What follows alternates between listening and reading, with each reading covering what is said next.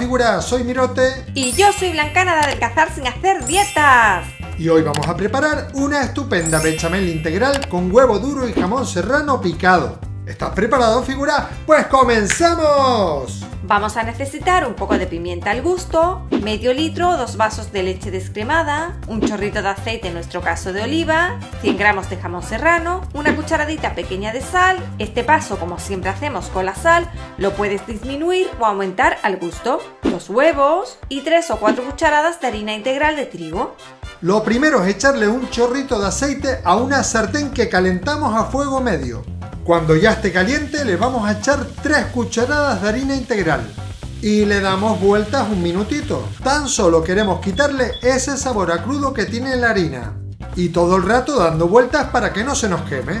Ya la tenemos y pasamos a añadirle la leche poco a poco.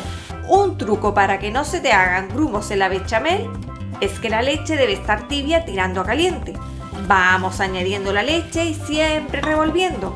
Jugamos con la intensidad del fuego, bajándosela o subiéndola un poco cuando nos vaya pidiendo la bechamel. Una pizca de sal al gusto. Fíjate en esas burbujas, pues eso es precisamente lo que hay que evitar. Así que tenemos que estar moviendo continuamente nuestra bechamel. Entre 5 y 10 minutos ya tendremos lista nuestra bechamel. La consistencia la eliges tú. Si la deseas más suelta, tan solo tienes que añadirle algo más de leche. Y si la deseas más espesa, pues la tienes un poco más de tiempo al fuego y se irá espesando.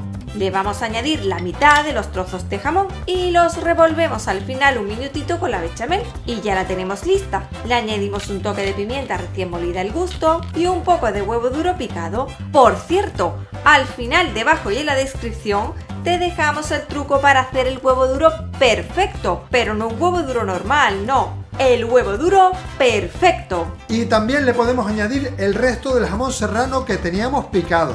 Así espolvoreándolo un poco por encima alrededor del huevo duro que hemos dejado en el centro del plato. Y ya la tenemos. Una soberbia bechamel integral totalmente saludable, porque no utilizamos ni mantequilla ni harina refinada. En su lugar utilizamos un muy saludable aceite de oliva virgen extra y por supuesto una harina integral que no puede faltar en nuestro canal. Si te ha gustado te agradeceríamos muchísimo tu Figulite y tu apoyo a nuestro canal suscribiéndote para que podamos seguir subiendo recetas saludables como esta. Y si le das a la campanita, pues no te la pierdes. Y así es como queda, esperamos que te guste y... ¡Salud, para, todos!